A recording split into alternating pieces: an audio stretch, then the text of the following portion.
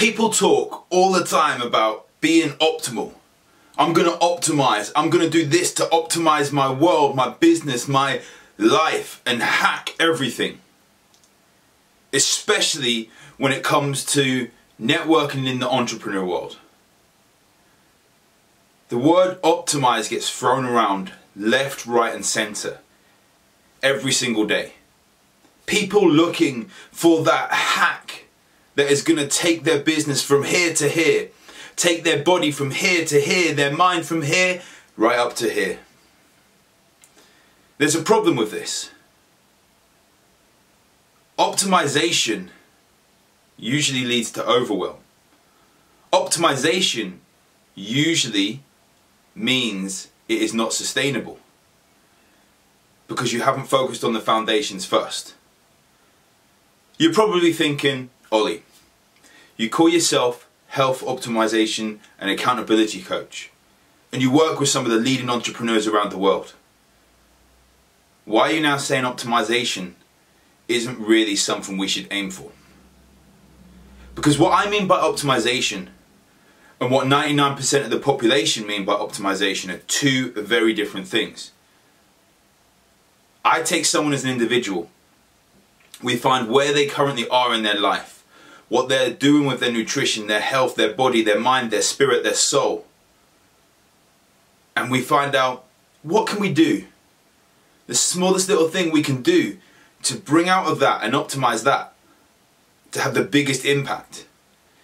Not simply chucking some fat in a coffee and getting our brain to function a little bit better or anything like this or having a certain supplement to make us get on an upper for four or five hours then we have to have another supplement to stay on that or to sleep or just to simply turn off. All these little things which diet is better? Should i be doing keto? Should i be doing intermittent fasting? Should i go on a detox? Should i do three four five day fasts? Should i just do what is sustainable? People forget people forget to build the foundations first. And you've done it in your business. That is why you are so successful in your business. Why do we then trip up when it comes to health?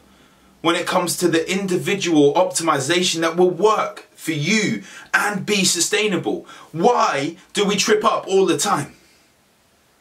Because in this world of being an entrepreneur, we get thrown terms every single day we get thrown different landing pages, different marketing schemes every single day about a magic pill we can pop, a magic diet we can start, and in two weeks we have the most amazing life. Everything is transformed and our body feels amazing. Our mind functions so well. But unfortunately, we have to build those foundations first.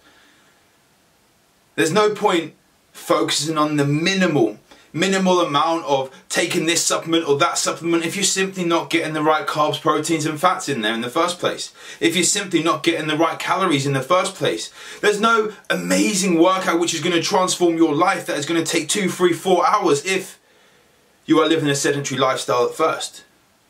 If you can't even deal with the stresses that the day-to-day -day life throws at you. If you can't even provide for your wife already because you're that stressed. All these things have to be taken into account when it comes to your individual health optimization.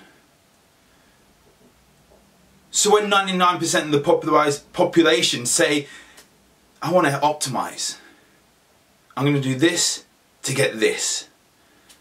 It's completely different to what I mean by taking your life as an individual on a one-to-one -one basis and giving you full optimization, and accountability that will not just change your life, but will be sustainable for as long as you want it to be. Thank you for watching.